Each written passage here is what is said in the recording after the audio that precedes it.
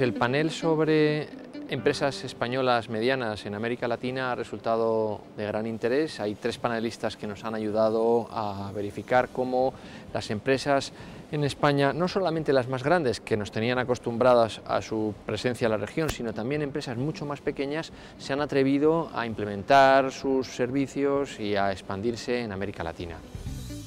Latinoamérica, pues como bien se ha venido diciendo durante estos días, es un sitio en el que merece la pena invertir, merece la pena estar, está creciendo con sus problemas, como todas las regiones, pero está creciendo y donde hay, en el caso de nuestra actividad, que es el sector de las infraestructuras, mucho trabajo por desarrollar. Con lo cual, aparte, existe pues, unos nexos culturales importantes, existe una facilidad de idioma y se puede decir que es un mercado natural donde, donde acudir.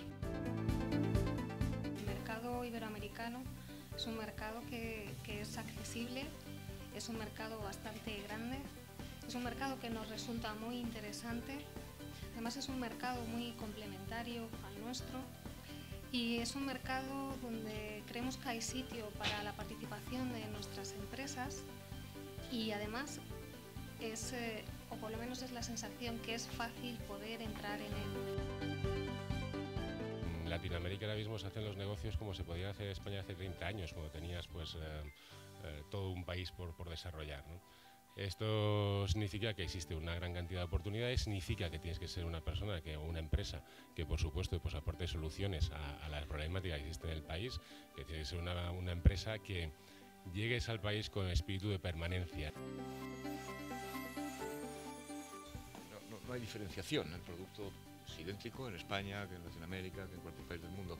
Lo que sí que es diferente es el empaquetado. Cómo, empaquetas el producto, cómo lo presentas al cliente hay ciertas diferencias. Y luego eh, también es diferente eh, la forma de acceder al cliente final. Hay ciertas diferencias, ¿eh? no es una diferencia muy sustancial, pero cada mercado es diferente. ¿no? Latinoamérica no es igual que España y Latinoamérica tampoco es un mercado único. Nosotros percibimos diferencias entre cada uno de los países que estamos. ¿no?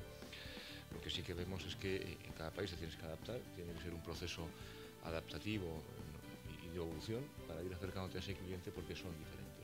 Pero bueno, digamos que la base del negocio, el planteamiento, los principios y las bases de la gestión son, son muy similares.